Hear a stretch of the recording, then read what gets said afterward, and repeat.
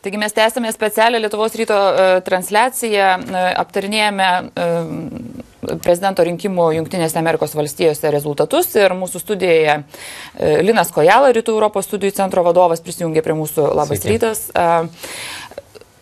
Žinau, kad kolegos yra pasiruošę rodyti mm, tiesiogiai vaizdus iš Donaldo Trumpo būstinės mm, New York'e, taip pat juos matysite. Ir paskutinė informacija apie rezultatus tai yra tai, kad uh, Donaldas Trumpas laimėjo Viskonsino valstijoje. Uh, Pone Kojala, jūs šiandieną komentuodamas pasakėte taip, uh, kad Donaldas Trumpas bus nenuspėjamas gerąją prasme toks yra lūkestis. Turbūt mes turime prezidentą, kuris nėra nubrėžęs savo būsimos politikos gairių. Iš principo visą kampaniją grindė trumpomis tezėmis. Na, pavyzdžiui, aš dėrėsiuosi su Putinu. Dėl ko, kaip, kokios bus jo darybinės pozicijos, taip ir nebuvo aišku. Tai vienintelė turbūt pozityvi gaida iš to pasisakymo arba iš tos strategijos, kurią jisai pasirinko, yra viltis, kad jo nenuspėjamumas nebus nepalankus mums. Nes mums, ko gero, yra jautriausi be abejo klausimai susijęs su NATO, su regiono saugumu, su apskritai, kaip Amerika įsivaizduoja savo vaidmenį Europoje. Tai tam tikrą prasme mes negalime numatyti pamatyti Trumpo, kaip jis elgsis, bet turbūt tas nenuspėjamumas apriepia ir tokį poelgį, kuris, na, leistų sustiprinti dar labiau mūsų saugumą, dar labiau pastiprinti NATO ir panašiai. Tai tai yra turbūt lūkestis, kurio mes turime dabar tikėtis.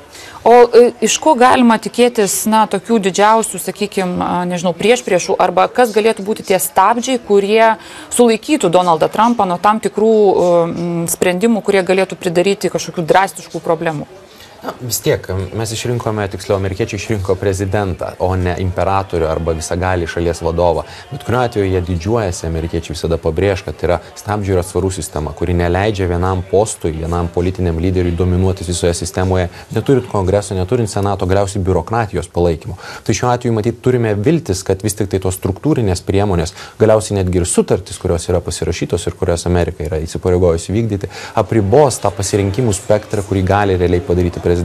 Todėl tikrai neturėtume tikėtis, kad rytoj per šimtą dienų, per vienerius metus ar netgi per ketverius įvyks kažkokie nors radikalūs pokyčiai. Ir čia turbūt geras pavyzdys yra Barackas Obama. Prisiminkime, juk jis pirmąją kadenciją žengdamas į prezidento postą žadėjo uždaryti, pavyzdžiui, Guantanamo kalėjimą. To jam nepavyko padaryti visus aštuonerius metus. Be abejo, galime kalbėti, kad kongresas jiems nebuvo palankus, tai buvo respublikonų dominuojamas ilgą laiką, bet bet kuriuo atveju tai turbūt yra įrodymas, kad prezidentas net ir turėdamas labai stiprią politinę valią ir tarsi visą aparatą, kuris leidžia priimti sprendimus, sprendimus, ne viską gali padaryti.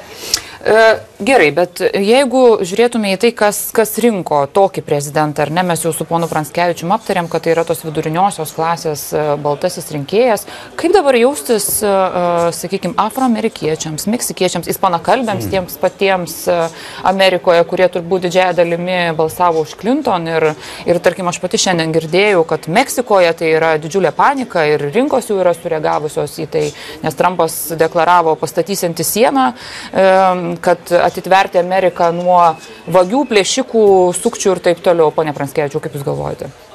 Būtent tos e, rasi, rasės e, e, šalyje, ar, ar, ar joms kyla kažkokia tai reali grėsmė? Nu, prezidentas Trumpas, čia įdomu tą sakyti, ar ne? Prezidentas Trumpas tikrai turės didžiulį iššūkį iš, iš tikrųjų užtikrinti Amerikos visuomenės na, e, vienybę ir ypatingai pirmomis savo darbo dienomis būti visų amerikiečių prezidentų. Ir tai vėlgi, kaip ir Linas minėjo, Amerika yra labai gilios demokratijos valstybė, labai stiprių institucijų valstybė, labai stiprios konstitucijos valstybė, kurioje ne tik tai JAV kongresas, bet ir e, aukščiausiasis teismas turi didžiulę ir lemiamą e, reikšmę.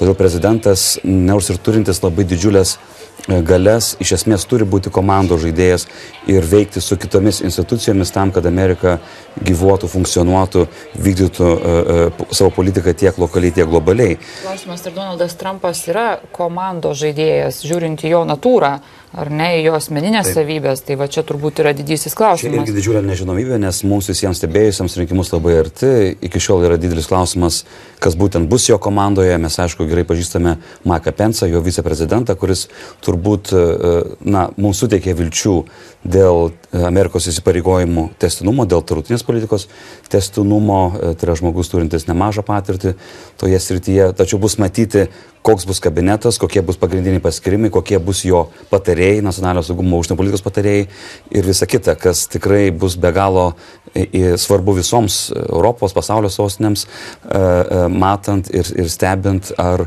iš tikrųjų na, įvyks ar neįvyks dideli pokyčiai Amerikos išorės politikoje. Preliminarūs duomenys rodo, kad e, Donaldas Trumpas laimėjo prezidento rinkimus. E, ar gali būti dar, e, ponia Kojala, kažkokių tai na nežinau, bandymų užginčyti rezultatus, na tarkim, iš, iš, iš Clinton štabo pusės. Ar gali būti dar kažkokių tai nežinau, ar, ar apskritai yra buvę istorijoje tokių dalykų, kad galbūt į teismus eiti, bandyti prieštarauti ir taip toliau? Turbūt pirmas dalykas, kas galėtų įvykti, tai prašyti perskaičiuoti balsus kai kuriuose valstijose, ten, kur skirtumas bus labai nedidelis. Ir mes tą esame matę 2000 metais, turbūt pats ryškiausias pavyzdys, kai iš tikrųjų skirtumas tarp Alo Goro ir Džordžo Bušo, kuris galiausiai tapo prezidentu, buvo toks menkas, kad net ir reikėjo perskaičiuoti, bet ir vėliau aukščiausiam teismui įsikišus tik nuspręsti, kas galiausiai turėtų tapti JAV prezidentu. Bet kita vertus, turbūt žvelgiant į šiandieninį rinkimų žemėlapį, mes negalėtume sakyti, kad e, Trumpas laimėjo per, na, mažą plauką, ar tai yra labai nedidelis skirtumas, kurioje jisai pasiekė pergalę. Vis tik tai Clinton pralaimėjo visas pagrindinės savo valstijas, kuriuose tikrai tikėjosi gerokai lengviau iškovoti pergalę. Michiganas, Wisconsinas, ten demokratai nepralaimi šešių septynių rinkimų iš eilės. Ji ten yra priversta nusileisti kandidatui, kurį tarsi tikėjosi dar visai nesiniai sutriuškinti. Tai aš manau, kad jokie teisiniai bandymai užginčyti tai, kas įvyko, šiandien nepasiteisins, jeigu radikaliai nepasikeis balsų skaičius. O jis, kaip ir minėjau, pakankamai tikinantis daugelį valstybių.